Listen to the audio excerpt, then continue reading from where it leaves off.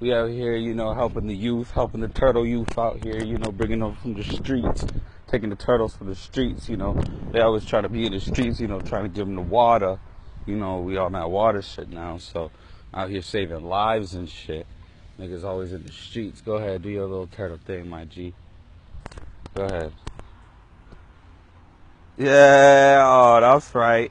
That's right. Taking the turtles from the streets. That's right.